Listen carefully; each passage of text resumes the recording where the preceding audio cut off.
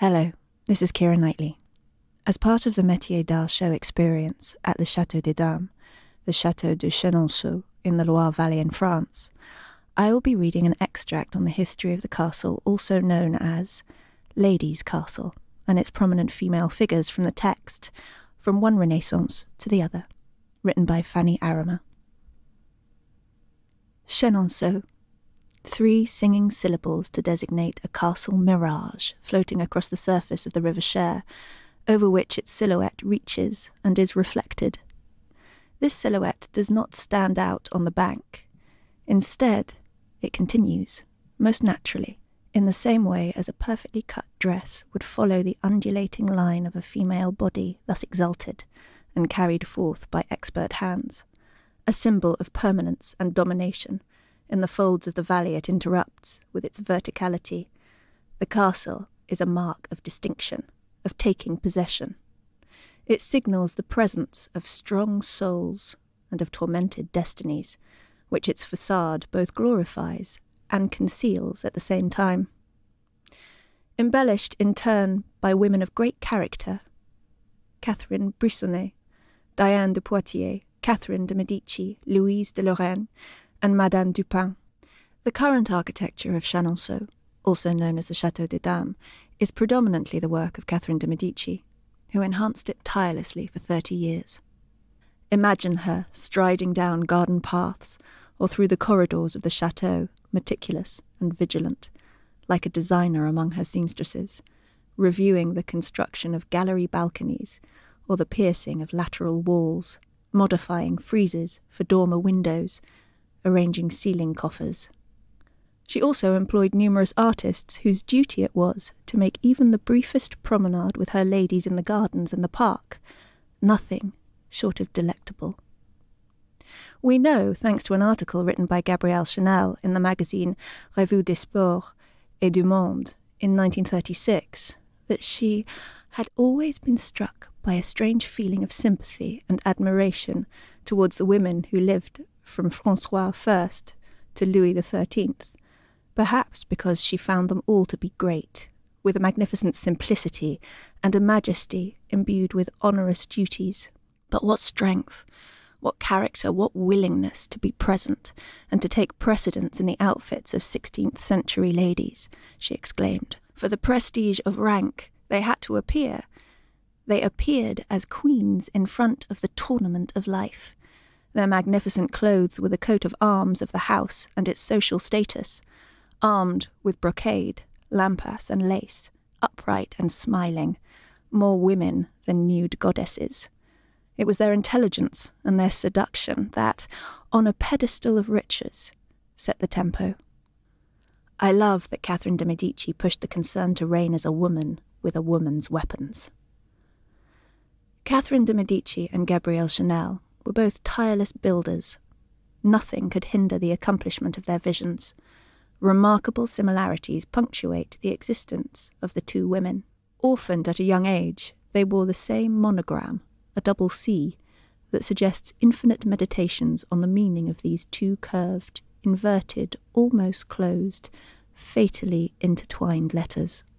This double C reflects the attraction held by Renaissance women and Gabrielle Chanel for the chain. The precise place of the chain's birth is fascinating, that of a tangled succession of rings which fit into each other and whose symmetry is perfect. The chain becomes the very symbol of consistency, and the pattern signalled by just one of its links is infinitely open.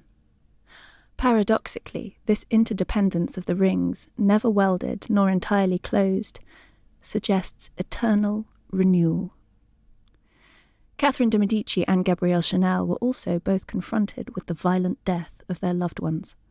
The same foreboding, the same anxiety, the same despondency.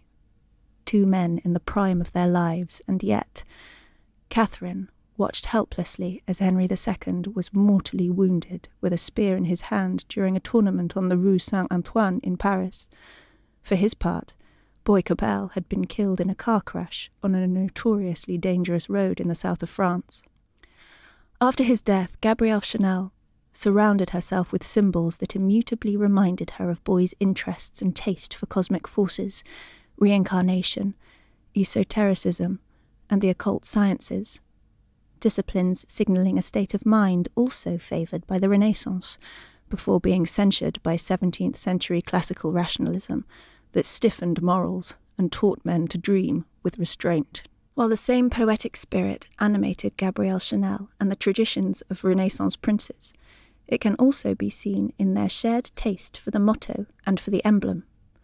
Gabrielle Chanel adopted the lion, a symbol of the strength she had lacked when, bereaved, she travelled through Venice. It is the city's emblem, and of the cunning that every being needs to survive the blows of fate. We find it imposing, engraved on the mantelpiece and in the tapestries of Catherine and Thomas Bohier at Chenonceau, statuesque, wise, and mineral on either side of the driveway leading up to the castle. Portraits of Renaissance women were an essential part of their increasing power at court, and these representations confirm this. Only the king could authorize and supervise the production of these works, showing their circulation had political purpose. If reigning is akin to appearing, the ladies of Chenonceau reigned a great deal more than their lovers, husbands, and the sovereigns of the time. When contemplating the drawings and engravings of Diane de Poitiers, Catherine de' Medici, Gabrielle d'Estrées, or Louise de Lorraine, one is at first held back by the grace and steadfastness of their stately demeanour, immediately attributed to their attire.